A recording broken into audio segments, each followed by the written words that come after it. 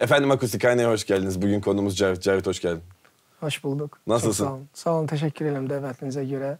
Sizi uzun e, yollardan buraya kadar getirdik ama müziğinizi keyifle dinliyoruz. Nasıl geçiyor sizin için bu aralar müzik? Ee, her şey çok yaxşıdır. Demək olar 2016-cı ildən e, profesional olaraq solo kariyeramın üzərində işləyirəm. Hələ ki hər şey yaxşıdır. Çox şükür. Harikulade. Şimdi kendi şarkıların var. Coverlarda söylüyorsun. Programda da e, onları dinliyoruz e, bir yandan. Kendi şarkılarını yazarken nelere dikkat ediyorsun? Nasıl ilham alıyorsun? Ee, həyatdan ilham alıram, e, kitablardan, filmlərdən. E, sözlərinə diqqət edirəm həmişə, musiqiyə də diqqət edirəm. Kendim e, fortepiano bitirmişəm.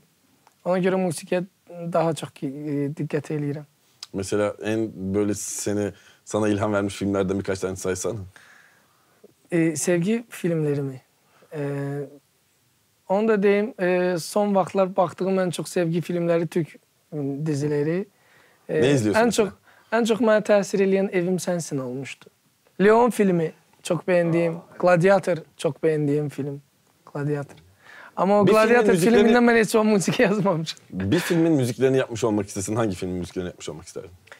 Ee, bir filmin o, o filmde dramaturgiya olmalıdır. Ağır sahneler olsa mənə daha çox e, cəlb eləyər. Yəni on, onlar üçün daha çox ürəyimi göstərə bilərəm. Eləsə roma, romantikanı sevirəm və yaxud da ki hansısa bir e, ağır bir sahnesi olan bir filmlər olsa on, o, o filmlər üçün yaza bilərəm.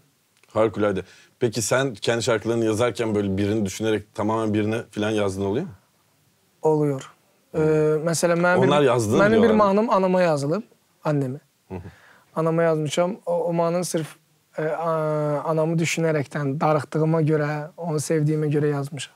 Ben biraz uzakta kalıram. Anam başka şehirde yaşayır.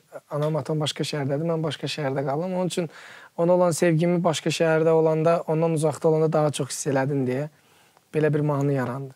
O ilk şarkıyı dinlediğinde annen neler hissetti? Ne yaptı? Tə, yani? Təbii ki, ağladı, pis oldu. E, sevinç gözyaşlarıydı, e, e, gözyaşları. E, ancaq bir an olaraq o da sevindi ki, onun üçün oğlu belə bir mahnı əsr eləyib, belə bir mahnı yaradı. Şarkıların çoğu, dinlediğim şarkıların çoğu böyle genel olarak aşkla alakalılar.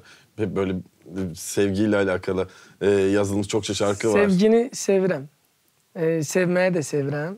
Həyatı da sevirəm. Onun üçün e, mahnılarda hər bir mahnının içində bir sevgi olmalıdır. Hiç gerçekten böyle hani bir şeyler hissettiğin biriyle birinin sana karşı hislerin olmadığını, aslında senin öyle sandığını anladığın falan oldu mu? Hay- Həyatım boyunca düşünürəm indi mənə yadıma gəlmir elə bir şey. Ne kadar güzel. Se- sevdiğim insan mən sevib dost olmamışıq yəni sevib e, elə bir çox sevgi həyatımda olmayıbdı. E, çünki bir sevgim uzun sürə sürüb. E, belə bir şey yəni məndə olmayıb açıq desəm. Harikulade. Hadi müzikle devam edelim. Edelim.